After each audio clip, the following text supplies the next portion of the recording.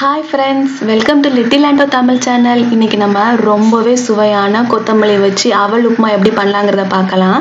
அதுக்கு முன்னாடி இது ரொம்பவே ஹெல்த்தியான ஃபுட்டுங்க டெய்லி இட்லி தோசை பூரி இந்த மாதிரி இல்லாமல் டிஃப்ரெண்ட்டாக வாரத்தில் ரெண்டு நாள் இந்த டிஷ்ஷை ட்ரை பண்ணி பாருங்கள் இது dinner evening snacks and breakfast கூட ரொம்பவே அருமையாக இருக்குங்க. இப்போ வாங்க எப்படி பண்ணலாங்கிறத பார்க்கலாம். நான் இங்கே இப்போது ஒரு கப் அவல் எடுத்திருக்கேங்க. இதை தண்ணி ஊற்றி நல்லா வாஷ் பண்ணி எடுத்துக்கோங்க.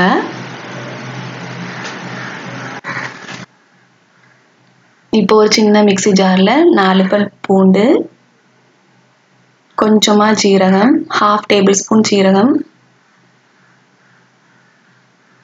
ஒரு மிளகாய் கொஞ்சமாக கொத்தமல்லி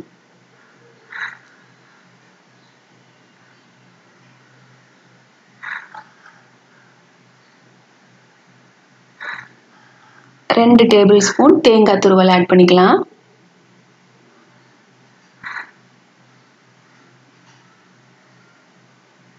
இது நல்லா மிக்சியில் கிரைண்ட் பண்ணி எடுத்துக்கலாம்.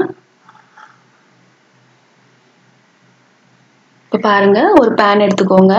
கொஞ்சமாக எண்ணெய் ஊற்றிக்கோங்க எண்ணெய் சூடான பிறகு ஹாஃப் டேபிள் ஸ்பூன் கடுகு ஆட் பண்ணிக்கோங்க.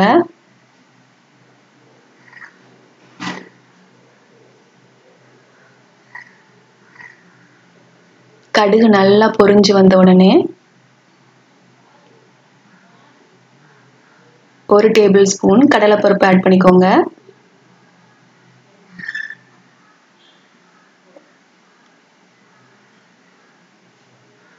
நல்லா ஃப்ரை ஆகட்டும். இப்போ இதில் ஒரு டேபிள் ஸ்பூன் உளுந்து ஆட் பண்ணிக்கோங்க.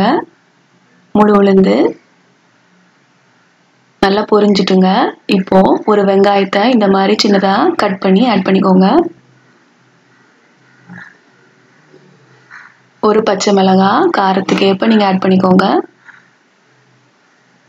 இப்போ நம்ம அரைச்சி வச்சுருந்த விழுதை ஆட் பண்ணிடலாம்.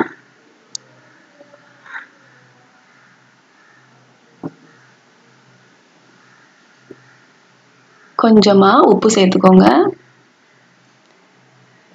நல்லா வேகட்டும். இதில் ஒரு கைப்பிடி அளவு கருவேப்பிலை ஆட் பண்ணிக்கோங்க. நல்லா மிக்ஸ் பண்ணி விட்டுக்கோங்க. இப்போ நம்ம எடுத்து வச்சுருந்த அவலை ஆட் பண்ணிடலாம்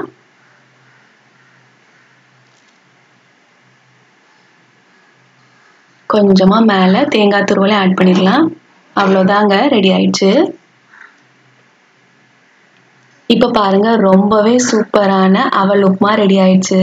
இதை மறக்காம வீட்டில் ட்ரை பண்ணி பார்த்துட்டு உங்கள் ஃபீட்பேக்கை கமெண்ட்ல கொடுங்க. இந்த வீடியோ உங்களுக்கு பிடிச்சிருந்தா லைக் பண்ணுங்க ஷேர் பண்ணுங்க சப்ஸ்கிரைப் பண்ணுங்க. அண்ட் மறக்காம அந்த பெல் ஐக்கானை கிளிக் பண்ணிக்கோங்க. சூப்பரான ரெசிபியில் மீட் பண்ணுறேன் தேங்க்ஸ் ஃபார் வாட்சிங் பாய் ஃப்ரெண்ட்ஸ்